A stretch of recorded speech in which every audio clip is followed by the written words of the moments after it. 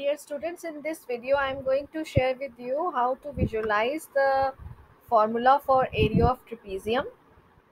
So we will be doing an activity.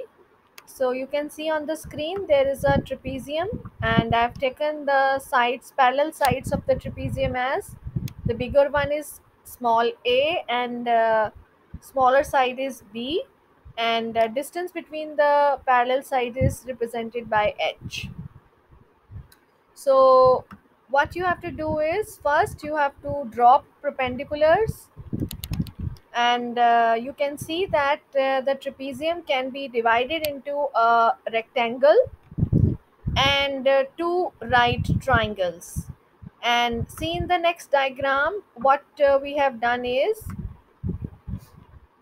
we have taken the triangle which has been formed by joining the two right triangles and a rectangle. So now look at the dimensions of the rectangle.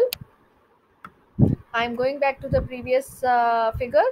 So you see the dimension of the rectangle is uh, uh, one side is h and uh, other side is b. So here it is labeled as b and h. So you see the triangle which has been formed by joining two right triangles. The base of uh, the triangle is A minus B. Now you have to tell me why it is A minus B. You can clearly see the two figures and uh, height of this triangle is H. So now you see that uh, the area of trapezium should be equal to area of the rectangle plus the area of the triangle which has been formed. So what is the area of rectangle whose sides are B and H?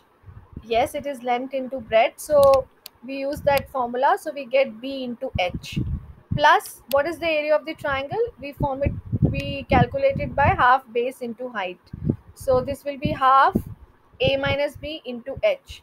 So add the two together. You can take H common, simplify and after simplification you will see that the result is coming out to be h into a plus b upon 2 so we can say that uh, area of the uh, trapezium is equal to half into h into sum of the parallel sides. So i hope uh, it is clear to all of you. Uh, you do this activity in your notebook. Thank you